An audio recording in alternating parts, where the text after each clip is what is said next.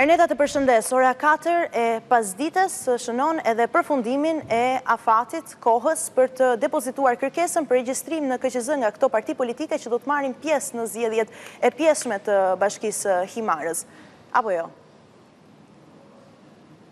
Po ditën e sotme në deri në orën 16, partitë politike të cilat duan të jenë pjesë e zgjedhjeve të pjesshme për bashkinë e Himarës më 4 gusht do të duhet të dorëzojnë kërkesën e tyre në Komisionin Qendror të Zgjedhjeve për t'u bërë pjesë e procesit. Deri në këto momente janë disa parti politike të cilat e kanë kaluar këtë hallkë, pra kërkesën për regjistrim në Komisionin Qendror të Zgjedhjeve, ndërkohë që pritet që deri në orën 16 të ketë edhe parti të tjera të cilat do ta bëjnë një kërkesë të tillë dhe këtu përmendim dhe partinë kryesore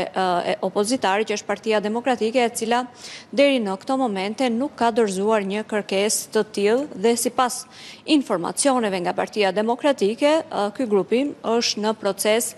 për të, pra në proces dokumentimi, për të sjellë edhe ata kërkesën e tyre për regjistrim në Komisionin Qendror të Zgjedhjeve, ndërkohë që deri në këto momente në KQZ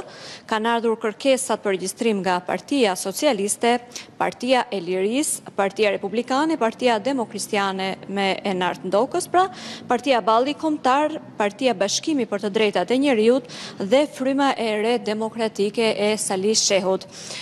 Krahasuar, pra, nëse bëjmë një krahasim me zgjedhjet e katërmbëdhjetë majit, kujtojmë që Partia Demokratike e Sali Berishës në atë kohë pa vulë dhe pa logo të PD-së nuk u bë pjesë e procesit, të paktën formalisht po flasim, ndërkohë që këtë herë ata do të jenë pjesë e procesit dhe pritet shikohet nëse Sali Berisha do të jetë udhëheqësi i koalicionit. Gjithashtu një element tjetër sa i përket këtyre zgjedhjeve krahasuar me ato të katërmbëdhjetë majit, është që koalicioni opozitar do të ketë Një përbërje më të gjerë se ai i zgjedhjeve të katërmbëdhjetë majit, pasi duhet kujtojmë që më katërmbëdhjetë maj koalicioni opozitar Bashkë Fitojmë udhëhiqej prej Partisë së Lirisë, prej prej Ilir Metës, ndërkohë që në përbërje të tij të tij ishte dhe PDK-ja e Nard Ndokës dhe gjithashtu PBDNJ-ja e Vangjel Dules. Këtë herë do t'i kemi dhe partitë e tjera. të cilat i sipërcituam, që do të jenë pjesë e këtij koalicioni, pra në përbërje të koalicionit opozitar, që sipas informacioneve do të ketë sërish të njëjtin emërtim Bashkë Fitojmë, do të jenë më shumë parti krahasuar me zgjedhjet e katërmbëdhjetë majit, ku partitë opozitare u grupuan jo në një, po në dy koalicione, kjo për shkak të votave që kërkonin partitë e tjera aleate të grupimit të Berishës për të marrë vota dhe për t'u përfaqësuar më shumë në këshillat bashkiakë, ndërkohë që në këtë garë, e cila do të jetë vetëm për kryetarin e bashkisë të Himarës, partitë edhe ato më të vogla, siç është edhe partia republikane apo Balli Kombëtar, do të grupohen në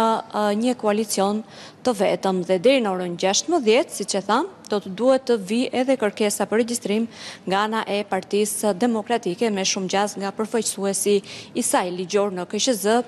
Ivi Kaso. Ditën e sotme është procesi i regjistrimit për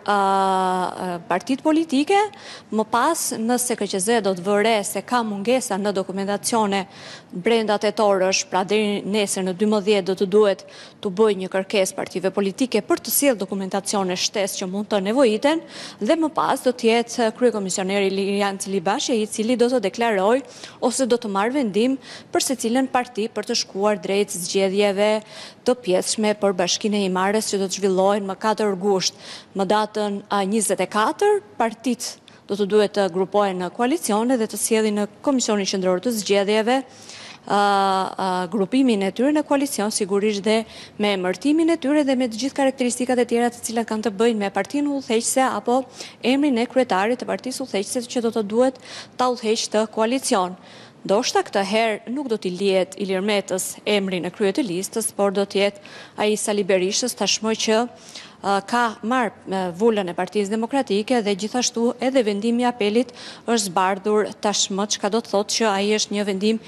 vendimi i apelit i 11 qershorit është tashmë i ekzekutueshëm. Ndërkohë që vetëm një ditë më pas, pra në datën 25 korrik, do të jenë kandidatët ata të cilët do të paraqesin kërkesat e tyre për t'u regjistruar Sigurisht që në procedurat e Komisionit Qendror të Zgjedhjeve parashikohen edhe afate sa i përket nismave të zgjedhësve për të paraqitur kandidatë, që është po gjatë ditës së sotme, por me shumë gjasë nuk do të ketë një të tillë, të paktën deri në këto momente nuk ka informacione për kandidatë të pavarur ose të mbështetur nga zgjedhës të cilët do të jenë pjesë të garës dhe me shumë gjasë Gara për bashkinë e Himarës do të shkojë vetëm me dy emra të paraqitur deri më tani të bërë të ditur dhe të zyrtarizuar, që është ai i Vangjel Tavos nga Partia Socialiste dhe Petro Gjikurisë i koalicionit Bashkë Fitojmë, pasi duhet të kujtojmë që emri i tij u propozua prej PBDNJ-së dhe bashkërisht më pas me Partinë Demokratike u vendos që ai të përfaqësojë koalicionin opozitar për zgjedhjet e pjesshme në bashkinë e Himarës. Erneta, të falenderoj shumë për të gjithë shtjellimin e detajuar të situatës. Faleminderit.